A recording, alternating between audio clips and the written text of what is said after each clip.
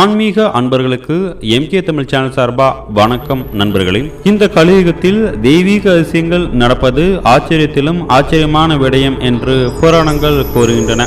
இலங்கையில் இருக்கும் அதிசயங்கள் நிறைந்த ஒரு கோவிலை பற்றி தான் இன்றைய வீடியோவில் நாம் பார்க்க போகிறோம். விசேஷ நாட்களில் இந்த கோவிலுக்கு வந்தால் இரவு பொழுது பகலாகவும் பகல் பொழுது இரவாகவும் மாறும் அற்புதம் நடக்கிறது. அதேபோல் பறக்கும் தட்டுகள் இக்கோவிலுக்கு வந்து வெளிச்சம் தருவதை நம்மால் பார்க்க முடியும். இக்கோவிலில் இருக்கும் பொக்கிச்சங்களை திருட முயற்சி செய்தபோது ஒரு ஆச்சரியமூட்டும் நிகழ்வு அங்கு நடந்தது. இந்த வீடியோவில் இந்த அற்புத தளம் பற்றியும் அதன் பின்னால் இருக்கும் சுவாரஸ்யமான கதையை பற்றியும் தான் நாம் பார்க்க போகிறோம். நண்பர்களே வீடியோக்குள்ளே போகிறதுக்கு முன்னாடி தயவு செஞ்சு இந்த வீடியோ லைக் பண்ணுங்கள் மறக்காமல் கீழே கம்பாக்ஸில் ஓம் நமச்சிவாயா அப்படின்னு கம் பண்ணுங்கள் வாங்க வீடியோக்குள்ள போலாம். இலங்கையில் உள்ள புத்த ஸ்தூபம் தான் இந்த கோவில். இது சோமாவதி ஸ்தூபி என்று அழைக்கப்படுகிறது. இந்த சோமாவதி புத்தாலயம் கிமு இரண்டாம் நூற்றாண்டில் கட்டப்பட்டது. இந்த ஸ்தூபியில் புத்தரின் வலது பல் நினைவு சின்னம் இருக்கிறது.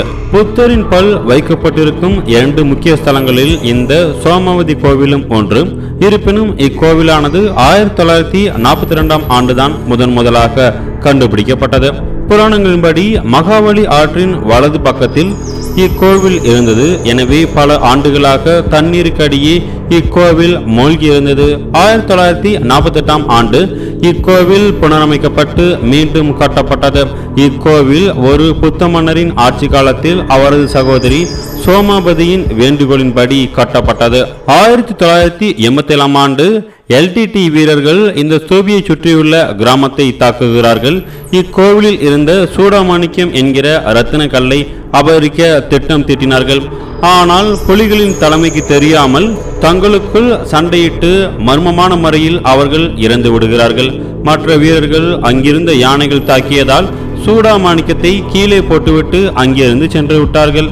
இவ்வாறு ஒரு பெரிய கொள்ளை முயற்சி இங்கு தடுக்கப்பட்டது. கடவுளின் அருளால் தான் இந்த தாக்குதல் நிகழ்வு முறியடிக்கப்பட்டது என்று புத்த துறவிகள் கூறினார்கள். இந்த தாக்குதலுக்கு பிறகு பதினைந்து ஆண்டுகள் கழித்து இரண்டாயிரத்தி இரண்டாம் ஆண்டு இக்கோவில் மீண்டும் திறக்கப்பட்டது.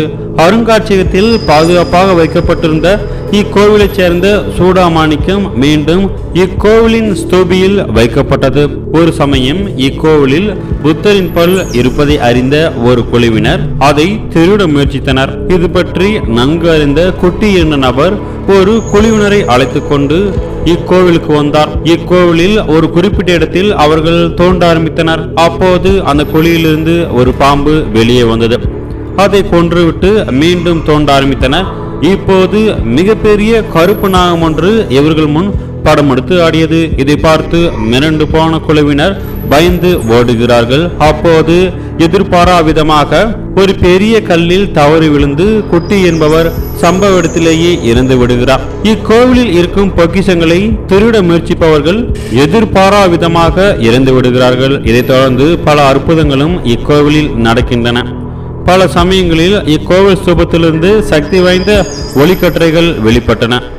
இந்த வெளிச்சம் ஸ்தூபத்திலிருந்து ஆகாய நோக்கி அடித்தது. சில சமயங்களில் வேற்று கிரகவாசிகள் வந்து செல்லும் பறக்கும் தட்டுகள் இந்த ஸ்தூபத்தின் அருகே தென்பட்டன. இலங்கை அரசாங்கமே இந்த தகவலை உறுதிப்படுத்தியுள்ளது. இது போன்ற அமானுஷமான நிகழ்வுகள் கோவிலின் விசேஷ நாட்களில் மட்டுமே நடக்கிறது.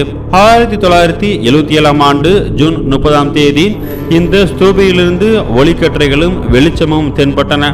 சரியாக காலை ஏழு இருபது மணிக்கு நடந்த இந்த நிகழ்வை அங்கிருந்த வானொலி அதிகாரிகள் உள்பட ஆயிரக்கணக்கானோர் நேரில் பார்த்தார்கள். அதே போன்று ஆயிரத்தி தொள்ளாயிரத்தி எண்பத்தோராம் ஆண்டு ஜூலை நாலாம் தேதி இலங்கை ஜனாதிபதி கே ஆர் ஜெயவர்தனை இந்த சோமாவதி கோவிலுக்கு வந்தபோது இந்த அற்புதமான நிகழ்வை நேரில் பார்த்திருக்கிறார். அந்த சமயம் மதியம் இரண்டு மணிக்கு வானம் முழுதும் திடீரென்று மஞ்சள் நிறமாக மாறியது. ஸ்தூபியை சுற்றி பல வண்ணங்கள் தோன்ற ஆரம்பித்தன.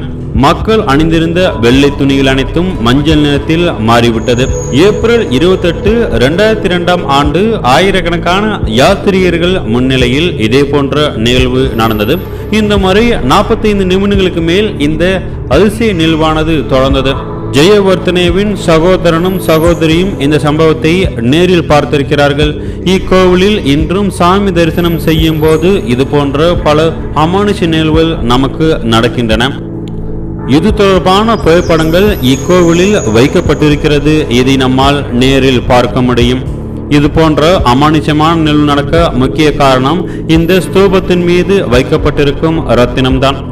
இந்த ஸ்தூபத்தில் பல ரகசியங்களும் அமானுஷங்களும் மறைந்திருக்கிறது. இதிலிருந்து சில சமயம் பறை அடிப்பது போன்ற ஓசை நமக்கு கேட்கிறது. இதற்கான காரணமும் இன்று வரை யாருக்குமே தெரியவில்லை. இக்கோவிலின் அற்புதங்கள் பற்றி வெளியே சொன்னால் கண்டிப்பாக யாரும் நம்ப தயங்குவார்கள். ஆனால் இலங்கை அரசாங்கமே இந்த தாழ்வுகளை உறுதிப்படுத்தி இருப்பதால் தான் உலகம் முழுதும் இருந்து சுற்றுலா பயணிகள் இக்கோவிலுக்கு வருகிறார்கள். நன்றி நண்பர்களே இந்த வீடியோ உங்களுக்கு பிடித்தால் லைக் பண்ணுங்க. இந்த வீடியோ தொடர்பான உங்களோட கருத்துக்களை தயவு செஞ்சு மறக்காம கீழே கமெண்ட் எழுதுங்க.